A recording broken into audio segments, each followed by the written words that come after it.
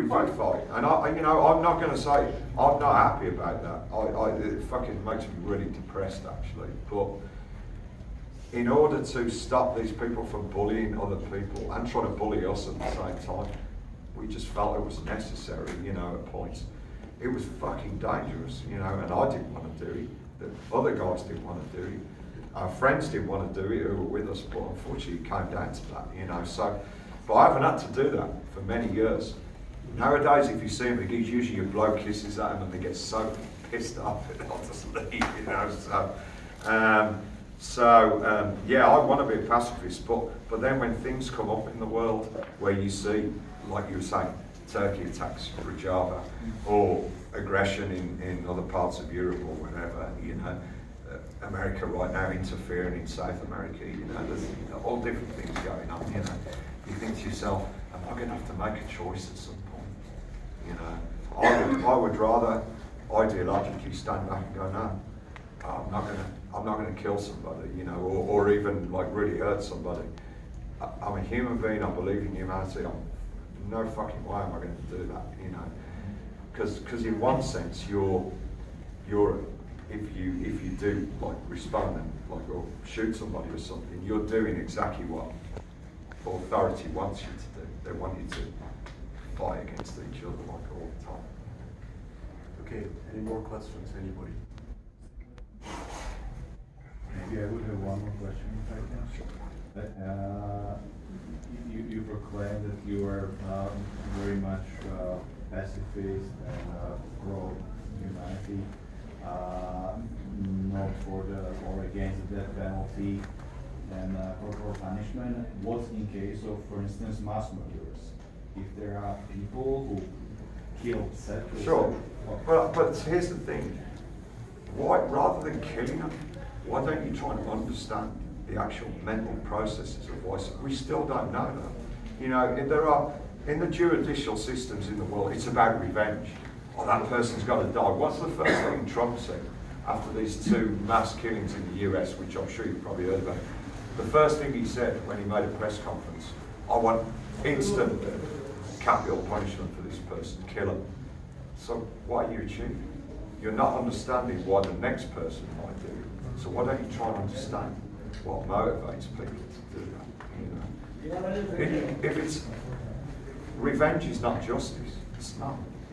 It's two entirely different concepts. You know, it's, that's not justice to go and kill somebody. You know, of course, it's completely heinous for somebody to do that. You know, but you don't. You don't know what's going on inside there. I'll give you a classic example how circumstances can lead to things. In, in Birmingham, back in the 80s, Birmingham was very fucking poor, you know, where, where I'm from in the 80s. And then we had the Thatcher government, Margaret Thatcher, I don't know if everybody's aware, of but she took all the public services, like closed them down. So in a place called Handsworth, which is near to where I lived, there was a, like a halfway house for people who were like quite uh, severe schizophrenic, you know, who couldn't function really outside, you know, in, in, in a, a standard social situation, you know. But, but these places were great. So basically, they weren't locked up in some fucking horrible asylum kind of thing. They were in a functioning community. You know, they were they, they went out with the people that were working at the thing, and they, they experienced life, you know, and everything. So the local conservative government cuts closed that institution. They literally put the people out on the street. Okay? So this one guy who was really freaked out, like extreme, like schizophrenic guy, they let him out on the street. They just said, there you go, on the street. So this guy walked into the town centre, like obviously completely freaking out. He like got a pair of scissors from somewhere. He went into a department store and like randomly saw some lady, and obviously you're in a store with all sorts of lady. He just stabbed this lady like two or three times. Didn't kill her, thankfully. She was like badly hurt, uh, you know, but didn't kill her. So read the newspapers the next day. Oh, murderer, you know, hang him, bring back corporal punishment. Well, hang on a minute, look at the circumstances. Government fucking cuts put this guy out on the streets, you know, and through no fault of his own, his mental condition led him to do that. So who, you, you tell me, whose fault is that? So therefore, when people have these, whatever's going on in people's heads, you need to understand that. And then hopefully, in the long run, when you have a, a true understanding of these things, you can stop these like mass shootings from happening. Know, understand the mindset. You know, and man. And I know there's some ones that are politically driven. You know, so then you kind of need to listen to those people. You know, in as much as we've been talking about, you know, all this stuff, people that do voice that opinion, I'm not, I'm not going to like like attack somebody for doing that. They've got the right to express that, you know. But at least understand what then takes them to the next level, so you can deal with it and stop people from going. Ho- hopefully, nothing's perfect, you know what I mean. But it is it's something to understand. Thank you very much. I think we are finished with the time. No, it's, it's, it's gone. Thanks, thanks Yeah, for yeah. the Sorry, response. I I just came in. So, uh, you said it's like uh, not a question of fall, but uh, I would, uh, my position would be it's a question of in, uh, of investment. Like, like, uh, I know that a guy has a life uh, against, uh, in front of him. Yeah. And if I can do something. Sure. like, to- to- As you mentioned, like, Yeah, yeah, to yeah. understand Sure.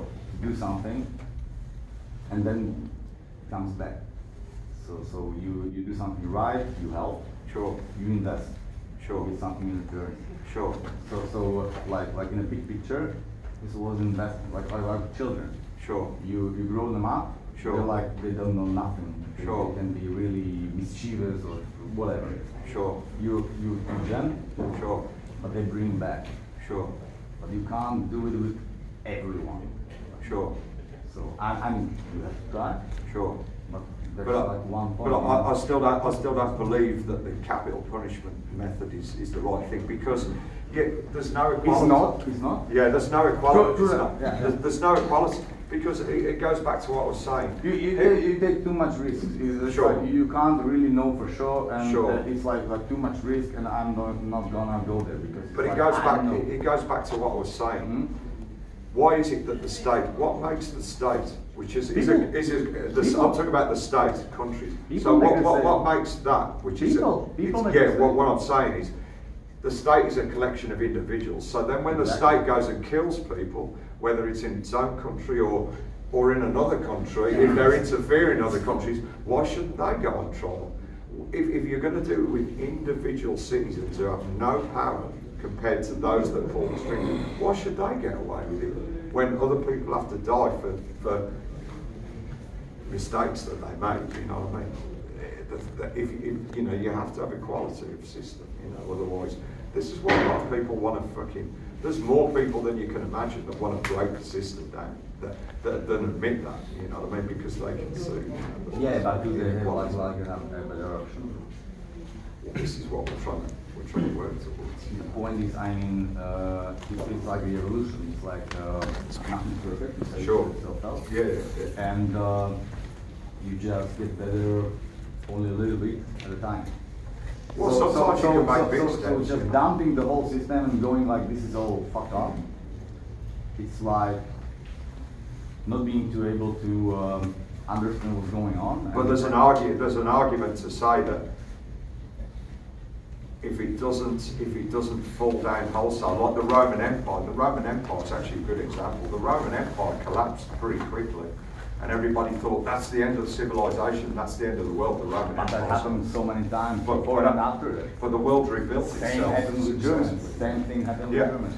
Yeah, yeah, They, they were the last to try that. sure. And all the nations went like, "Mm, not cool, man. Sure. We're not doing this anymore. Sure. Well, there's various examples. So there was somebody back there. Can I see that? Definition of we are witnessing fascism among all the levels. What about penetration of fascism in un- underground scene? I mean, I believe that you've witnessed that. We have an Yeah, example. that's a good point. Yeah, Hardcore Elite, elitism, not not fascism necessarily, but elitism. So people saying I'm more legitimate than, than this band No, or that band. but- Yeah, Like, no, like they, they, they, like they dumb. And I Yeah. know better. And I know better. yeah, yeah, sure, sure, It's, sure. a, it's a, sen- in our country, I come from, Slo- Slo- from Slovakia. Okay. And uh, uh, what I think we're encountering is like uh, the opposition is uh, there's a variety. You can choose from liberals to Sure. um, like like right wing liberals Sure, and even left wing Sure, liberals. sure. But they're uh, they're not cooperating, and then somebody comes and uh, they just exploit uh, everybody's trust. Sure, Like they know it, it will work. Sure. They, they have their twenty percent. sure. They they build the government and Sure. it's like uh, and and they and steal it. Sure. Even Yeah, there's a, that, that's a problem with the political system, you know, because it's, that, that sometimes it's about self-promotion rather than, you know, what's good for it. This is, Well, this is why, is this is uh, why when somebody asks me You're self-promoting, I mean, right now. Yeah, well, of course, but I'm, I'm trying to do something a little bit, but I, I hope, of I hope, of you know, course. yeah, yeah, yeah, I hope. Yeah, but you're right, but you're correct. Sometimes it's unavoidable, you know, once you try not to self-promote, it kind of is in another place, so, yeah. Like, like you have, be, you Yeah, have sure. to be aware of that. That- Yeah, sure, of course. the only thing. It- it So, sorry, man, can I? Yeah, yeah, Do no, you want to What finish is your what is your observation on that? Like, do you feel like there is a penetration of fascism on the scene? I, I wouldn't say it's fa- when you say fascism, you, you talk about ex- like no, literally no, not extreme, wrong, but it's more like a hidden form. But you can see some signs of fascism. as in political fascism or, or yeah, like Yeah. like the same thing. yeah, sure, sure. I mean, of course, napalm is No, no napalm. we're not. We have no. We have no, no. napalm, but there are people like that go completely on a different spectrum. Sure. It's, it's a difficult one because I can't stop them from having their opinions. I don't want to stop them No, from having their opinions. Or see, I just, I just want to make one point. There was a there was a particular thing last year that we concerned napalm death. There was a festival in Norway where there was a, like a like very openly fascist band playing, and napalm said to the promoter, "Look, we're not going to do it if this band's doing it." And he said, "Okay, then that's fine." And we're like, "Okay, no problem." And then of course on social media, I'm not blaming social media for this, by the way. I'm saying, but it did bit. Napalm Death tries to tell a festival what to do and promote. No, that's No, no. not what happened at all. No, no, I'm- I'm we gave the promoter a choice. We said, if that man plays, we're not playing. You know, if you want to keep on the bill, that's your choice. We'll just not play. And So- even, even if they did, I mean, it's like the question of values. It's like, Sure. like, like why they did it. Sure, but I And what was their power? I, mean, there are like major bands. So Yeah, but I don't, I don't want to stop them. I don't want to. I don't want to take away their, their voice. As much as I might disagree with it, Yeah. let them do it, man. But Na- Napalm's not going to put itself in that situation. Yeah, and, and, and, and they can get to exert that pressure. Yeah, and yeah. I mean that's important because Yeah. they they are like the, uh, like they have more power. So Hey, we've done it on big, big. Trust me. I mean, if you if you can, we've do done it if on. you get the right, you, you Yeah. just stand by your I mean, we've done it on big, big, big festivals actually, which were, I won't name the festivals, but there's been certain bands playing. We're just like, we're not going to do it. You know, if that band's doing it. And the festival almost didn't understand it. They were kind of scratching their heads. We're like, isn't it obvious? You know, no. All right then. See you. you know. Yes, Yeah. Czy- Czurby, you, you have band, one band, vocalist uh, of Spestika, Yeah. and you so you can play here. No, yes? no, I told them This that is it's just not- And, and, and, and the thing is, Chirpy's the promoter. That's entirely Chirpy's choice. Yes. choice. And that's what I said Exactly, to them. exactly. That, that's, There shouldn't- shouldn't- there shouldn't be a law for that. No, there shouldn't be a law. Because we for have a law for that in our country, and uh, we have right nowadays, fifteen percent of fascists they are in parliament Yeah, because you get no discussion. sure, sure. You can't really expose them. And this like is- they're and- always martyrs. Yeah, yeah, and this is what I was talking about with you. I said, whilst I might completely disagree with those viewpoints, is it doesn't mean I'm not going to talk to those people. If they want to come up, I have no problem with having a come. But back in the day, the first thing they wanted to do is spit in your face. This is a thing that sometimes, it, well, you're just as bad as a fascist. Hang on, I didn't bring that problem to the door. I wasn't the one who went, called, beckoned somebody over at a gig across like a little barrier like that and spat in their face. It's happened to me several times. I didn't do that. It wasn't me. It was fucking them. You know what I mean? So, Yeah, but well, what are you gonna do about it? yeah. Well, back then it was Eternal just. question. And, and, yeah. but, but, but you know, it wouldn't work. I mean, whenever I would, I would come to, to anybody and tell them, you're an asshole for what you think, they won't. They won't come to their senses. And Yeah. That's what I really like to, like, Yeah. everyone to realize that if you, if you fuck somebody off, if you Yeah. beat them off, they're not come to their senses. You just make enemies. Yeah, you're not an asshole for what you think. You're an asshole for what you do, you know, Whatever, but, basically. but or- yeah, the yeah, point yeah. is, you don't wanna fight. No, no. It's like, it's like you want to work it out somehow. Yeah, sure, sure. Is there, any, is there anybody else? I'm sorry, I'm fucking I every, think everybody at the have back. One or two Yeah, minutes sure. left, so just. Yeah. Very, very, very short. Yeah. Without this stupid communists, fascists, and these stupid people, will, will be the extreme music exist? You know, scam, anarchy in UK. Yeah. This is no, nothing to shout about without the stupid people. People, what's up? No, but see, you understand me? But see, but see, the, thing is, it doesn't have to necessarily be political. Yeah. For Napalm Death to write a song about it, Yeah. again, it's it's you're stripping it down to the human perspective, you know, of which there are, like I say, there's a palette with a, a million colours on it, you know, of life that you can paint, you know, so making a song basically. So there's, there are always things. It doesn't have to be political, you know what I mean? You so know, extreme yeah. music will be anarchy in UK, scam, So always. certainly in the context of, yeah, of course. I think there will be always moving stories in Rwanda. Yeah, yeah, They, a lot of them stories, even though they're not, you know, like stories in the, in the fable sense, you know, stories. We run out of time actually, so I'd like to thank you, Mark, for taking your time. If anybody else wants to ask another thing that they. I would, I would have a question. Yeah, sure. So, what you would, um, what you would say, what has changed, or what is better, or what is worse compared when you first visited Czechoslovakia with Obituary and uh, and Dismember in 90s? Yeah. How the scene and how actually the people or the music changed since then? That's a, that's quite a difficult question, actually. Take some time on. Well, I mean, for, for, from Napalm Death, of course, in, Napalm Death comes to Czech every two years and does a tour of it. I mean, we do little villages. I, I can only really answer that, obviously, for Napalm because we do places that I'm sure a lot of bands would go, eh, not really, village, you know, but Napalm's go, can go anywhere and play, you know what I mean? And, and I, I'm not just saying this, I'm noticing Czech that, you know, working with Cherby and Tommy and all the rest of it, uh, there's always a thing to make the bands like super fucking welcome, know, I mean, super, super welcome.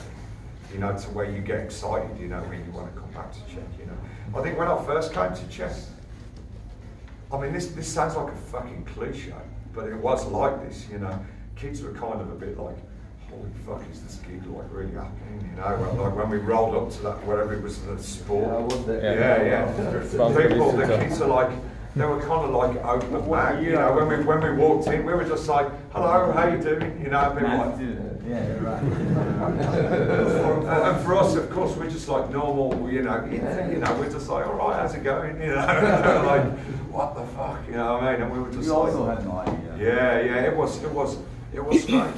But again, you know, purely from a personal perspective, I, I'd, I, we went, I went with him the last week of the Soviet Union. I was in Russia, you know, the last week when it was all starting to fall apart, you know. When Napalm was the first band to independently play in Russia, you know. I'm not talking about the corporate gigs that went in there, like uh, independently, you know. It was us and Sam Ael. It's the first independent concert in um, in Russia, you know.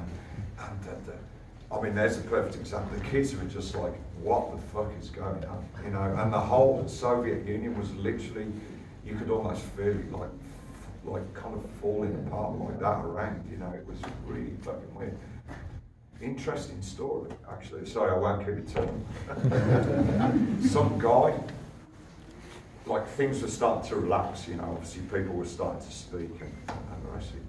Some guy came into the dressing room, you know, in, in the Mo- Moscow here, 1991, with a demo cassette for Shane, you know, he got this demo cassette. There was a fucking swastika on the front of it. Hmm. And Shane, Shane being Shane just went, what the fuck's this? Know, uh, and threw it back at him.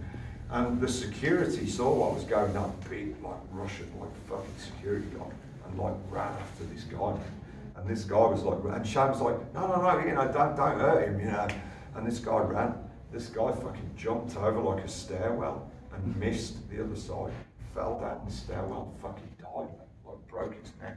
Whoa. in, inside this thing. That's um, honestly, it's a true story. Yeah, sym- symbolic, symbolic a little bit. Yeah, it was fucking crazy. honestly. Yeah. Okay, we, we Sure. have to go. Yeah, So, thanks guys. Cheers. So,